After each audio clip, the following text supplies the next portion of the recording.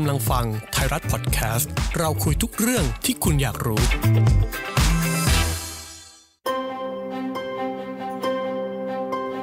เมื่อสงสัยเราหาคำตอบ เคลียร์คัด ชัดเจน ใน The Answer ไทยรัฐออนไลน์สวัสดีค่ะ มาติดตาม The Answer สัปดาห์นี้ค่ะ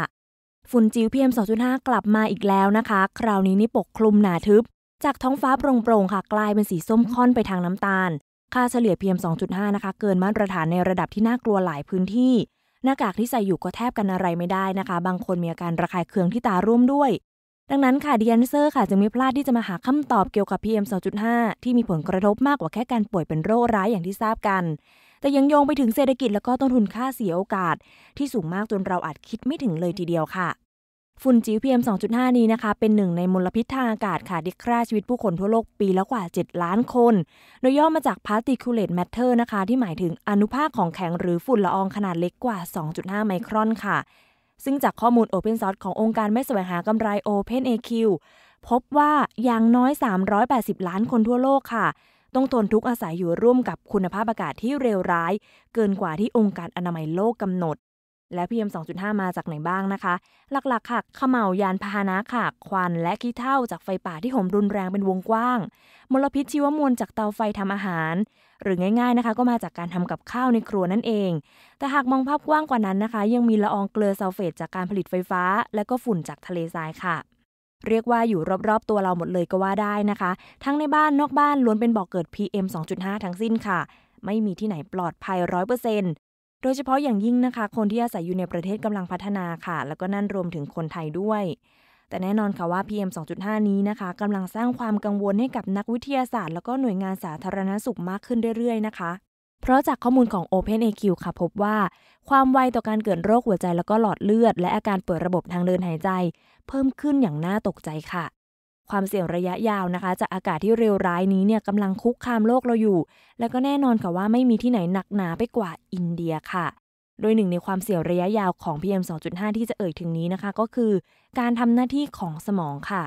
โดยกลุ่มผู้ได้รับผลกระทบหลักๆนะคะ ก็หนีไม่พ้นผู้สูงอายุแล้วก็เด็กค่ะ ที่หากสูดมลพิษเข้าร่างกายมากๆนะคะ ในระยะยาวเนี่ยจะกลายเป็นปัญหาสุขภาพเรื้อรัง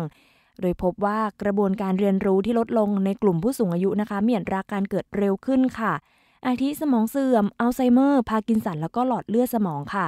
ส่วนกลุ่มเด็กนะคะมีความเสี่ยงว่าจะได้รับผลกระทบที่ร้ายแรงมากที่สุด เพราะอาจจะส่งผลเสียต่อสุขภาพ แล้วก็การดำเนินชีวิตอย่างถาวรค่ะ ขอยกตัวอย่างนะคะ อย่างเช่นในจีน การศึกษานี่ค่ะ พบว่ามลพิษทางอากาศนะคะ มีผลต่อการเกิด แล้วก็ความเชื่อมโยงกับทักษะทางปัญญาที่ลดลงด้วยค่ะ ขณะที่ทางใต้ของแคลิฟอร์เนียนะคะ เด็กๆที่สูดมลพิษเข้าสู่ร่างกายปริมาณมาก เห็นได้ชัดเลยค่ะว่ามีปัญหาในด้านการคำนวณทางคณิตศาสตร์แล้วก็การอ่านค่ะ ดังนั้นนะคะ เราจึงมักเห็นนักเรียนหลาย ๆ คนค่ะย้ายโรงเรียนตามทิศทางลม โดยหนึ่งในการศึกษาค่ะมีการประมาณการว่า ความเข้มข้นของ PM 2.5 นะคะ ที่เพิ่มขึ้น 5 ไมโครกรัมต่อลูกบาศก์เมตร อาจส่งผลให้คะแนน IQ ลดลงถึง 2 คะแนนค่ะ ไม่เพียงเท่านั้นค่ะในรายงานของธนาคารโลก หรือ World Bank นะคะ มีการทดสอบคะแนนของนักเรียนในแต่ละประเทศด้วย โดยพบว่าปัญหามลพิษทางอากาศนะคะ ที่มี PM 2.5 มาเอี่ยวด้วยนี้ มีผลเสียต่อสมองของเด็กอย่างมากค่ะ โดยเฉพาะในจีนแล้วก็อินเดีย ที่ต่างเป็นประเทศที่กำลังพัฒนาอุตสาหกรรมไฟฟ้าพลังงานถ่านหินทั้งคู่ และหลายเมืองนะคะ ก็ถูกปกคลุมด้วยหมอกพิษค่ะ ซึ่งระดับ PM 2.5 ในปักกิ่งนะคะ เฉลี่ยอยู่ที่ 100 ไมโครกรัมต่อลูกบาศก์เมตร หรือคิดเป็นกว่า 10 เท่าของนิวยอร์กแล้วก็เกินกว่าปกติถึง 2 เท่าของจำนวนรวมค่ะ นี่คือราคาที่จีนและอินเดียต้องจ่ายนะคะ โดยคะแนนการทดสอบของจีนค่ะคือ 456 แล้วก็อินเดียคือ 355 แตกต่างกับเด็กญี่ปุ่นและเกาหลีใต้ค่ะ ที่มีคะแนนสูงถึง 563 หรือแม้แต่เด็กเวียดนามเองก็มีคะแนนสูงถึง 519 ค่ะ ในส่วนภาพรวมนะคะ คุณภาพอากาศที่ย่ำแย่นี้ถือเป็นหนึ่งในการคุกคามทางสาธารณสุขอันใหญ่หลวงค่ะ มีคนเสียชีวิตต่อปีกว่า 8 ล้านคน และในจำนวนนี้นะคะกว่า 90%อยู่ในประเทศกำลังพัฒนา แล้วก็พบอีกว่า 1 ใน 8 ของประชากรโลก เสียชีวิตก่อนวัยอันควรค่ะ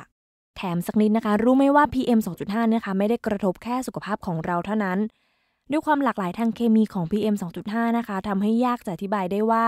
มีผลกระทบแค่ชั้นเดียวต่อสภาพอากาศค่ะ โดยหนึ่งในผลกระทบภาวะโลกร้อนนะคะ ก็มีในมาจากผงฝุ่นขมเหลาวดำหรือที่เรียกกันว่า black carbon สสารขม่าวดำที่เกิดจากการเผาไหม้ของเชื้อเพลิงฟอสซิลค่ะ แน่นอนว่าเมื่อ PM 2.5 กลับมานะคะ ก็มักจะมีการพูดถึงการสนับสนุนให้ทุกคนหันมาใช้รถยนต์ไฟฟ้ากันมากขึ้น แต่การหันมาใช้รถยนต์ไฟฟ้าค่ะไม่ได้บ่งชี้ได้อย่างชัดเจนว่า จะทำให้มลพิษทางอากาศจางหายไปอย่างสิ้นเชิงค่ะ โดยหนึ่งในรายงานที่น่าสนใจของรัฐบาลสหราชอาณาจักรนะคะ พบว่าผลกระทบทางสุขภาพที่เกี่ยวโยงกับ PM ค่ะ ไม่ได้มาจากถ้อยเสียรถยนต์ที่วิ่งตามถนนเพียงอย่างเดียว แต่ยังรวมถึงการเสียดสีบนท้องถนนที่เกิดจากการเบรกแล้วก็ยางรถยนต์อีกด้วยค่ะ แม้รถยนต์ไฟฟ้านะคะ จะได้รับความนิยมมากขึ้น แต่รายงานของรัฐบาลสหราชอาณาจักรก็ยังพบ PM 2.5 และก็ PM 10 นั้นลอยคละคลุ้งอยู่ โดยค่าเฉลี่ย 30 พื้นที่นะคะ แสดงให้เห็นว่าท่อไอเสียก่อให้เกิด PM 10 สัดส่วน 1% PM 2.5 สัดส่วน 2% ขณะที่การเบรกและการเสียดสียางรถยนต์นะคะ มีสัดส่วน PM 10 และ PM 2.5 อยู่ที่ 2%และ 1%ตามลำดับค่ะ แล้วก็มาจากการเสียดสีบนถนนอีก 1%สำหรับ 15 พื้นที่ริมถนนชื่อดังนะคะ ก็พบว่าท่อไอเสียมีสัดส่วนถึง 4%ของ PM 10 ทั้งหมด และ 5%ของ PM 2.5 ค่ะ ส่วน PM 10 นะคะ ที่เกิดจากการเบรกแล้วก็เสียดสียางรถยนต์นั้นอยู่ที่ 11%และ PM 2.5 อยู่ที่ 8%ค่ะ ขณะที่การเสียดสีถนนนะคะก่อให้เกิด PM 10 และ PM 2.5 อย่างละ 4%ทีเดียว ซึ่งถึงแม้ว่า PM 2.5 และ PM 10 นะคะจะอันตรายต่อสุขภาพทั้งคู่ แต่ตามข้อมูลขององค์การอนามัยโลกค่ะ กลับพบว่า PM 2.5 นะคะมีโอกาสที่จะทำให้เสียชีวิตสูงกว่า PM 10 ค่ะ และใช่ค่ะ ไทยเองก็มีราคาที่ต้องจ่ายในเรื่อง PM 2.5 ไม่ต่างจากจีนแล้วก็อินเดีย โดยกรณีจีนนั้นนะคะมีการศึกษาผลกระทบ PM 2.5 ต่อเศรษฐกิจทั้งในระดับชาติแล้วก็จังหวัด โดยพบค่ะว่า PM 2.5 ที่เกิดจากการคมนาคมทางถนนนำไปสู่การสูญเสียชีวิตกว่า 160,000 คนต่อปี แล้วก็อัตราการเกิดโรคต่อประชากรก็เพิ่มขึ้นถึง 0.37%และมีค่าใช้จ่ายการดูแลสุขภาพรวมกว่า 1,400 ล้านหยวนค่ะ หรือคิดเป็นเงินไทยประมาณ 6,500 ล้านบาท หากรัฐบาลจีนนะคะ ไม่ได้มีมาตรการควบคุมที่ดีขึ้นกว่านี้ มีการคาดการณ์ว่าในปี 2573 ค่ะ มลพิษทางอากาศจากคมนาคมทางถนน จะทำให้มีผู้เสียชีวิตเพิ่มเป็น 170,000 คน แล้วก็อัตราการเกิดโรคต่อประชากรก็จะเพิ่มขึ้น 0.40%และค่าใช้จ่ายการดูแลสุขภาพรวมแล้วจะสูงถึง 4,100 ล้านหยวน หรือคิดเป็นเงินไทยประมาณ 18,000 ล้านบาททีเดียวค่ะ ไม่เพียงเท่านั้นนะคะ จากการคำนวณทางสถิติของการเสียชีวิต ก็พบอีกว่ามูลค่าการสูญเสียจะอยู่ที่ 730,000 ล้านหยวน หรือกว่า 3 ล้านล้านบาทค่ะ และยังจะสูญเสียเวลาการทำงานต่อประชากรอีก 2 ชั่วโมง 23 นาทีด้วย นอกจากนี้นะคะมลพิษ PM 2.5 จากการคมนาคมทางถนนเนี่ยอาจเป็นเหตุให้สูญเสีย GDP ค่ะ หรือผลิตภัณฑ์มวลรวมภายในประเทศในปี 2573 ถึง 0.68%ทีเดียว มาว่ากันต่อในส่วนของไทยนะคะ ย้อนกลับไปช่วงต้นปีค่ะ มีการประเมินจากบรรดานักวิเคราะห์หลายสำนักนะคะ ถึงต้นทุนที่ไทยต้องจ่ายจากการปล่อยให้ PM 2.5 นั้นปกคลุมทั่วทางน่านฟ้า โดยต้นทุนที่ว่านั้นนะคะ ก็คือต้นทุนค่าเสียโอกาสค่ะ ประเมินภาพง่ายๆ ภายในช่วงเวลา 1 เดือนนะคะ มีการประมาณการว่า ผลกระทบทางเศรษฐกิจจะสูงถึง 3,200 ถึง 6,000 ล้านบาทค่ะ หากแยกเป็นส่วนๆนะคะ ก็คือ 1. ต้นทุนที่เกี่ยวกับสุขภาพ คือค่าใช้จ่ายทางการแพทย์ หน้ากากอนามัยแล้วก็เครื่องฟอกอากาศค่ะ ก็มีมูลค่าสูงถึง 2,000 ถึง 300 ล้านบาท 2. ก็คือต้นทุนค่าเสียโอกาสเกี่ยวกับการท่องเที่ยว ซึ่งอยู่ที่ 1,000 ถึง 2,400 ล้านบาท แล้วก็ 3 ค่ะ ต้นทุนค่าเสียโอกาสอื่นๆ เช่นสตรีทฟู้ดร้านอาหารหรูแบบ outdoor รวมถึงตลาดนัดนะคะ ก็มีมูลค่ากว่า 200ถึง600 ล้านบาททีเดียว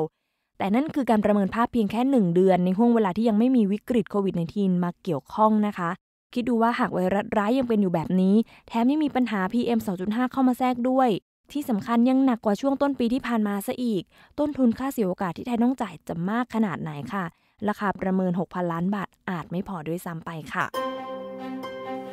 เมื่อสงสัยเราหาคำตอบ